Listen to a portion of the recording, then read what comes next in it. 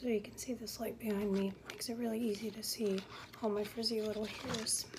So let's see how this works. Looks almost like a tube of mascara. It's clear.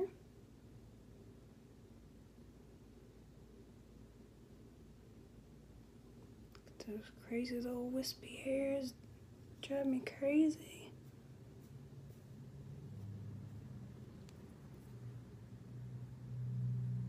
I've never really actually used my phone like a mirror like I'm doing right now, but seems to be doing alright.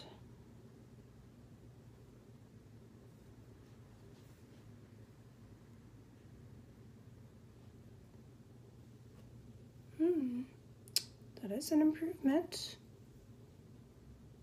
We'll see how it uh, works out later if it's still holding them down. Well, that's pretty exciting, gotta tell you. We'll see also how it uh, makes my hair feel. I have to say, I'm.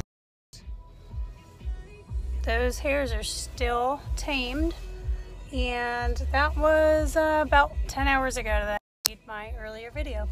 I'm impressed, and I'm mad that I didn't buy sooner.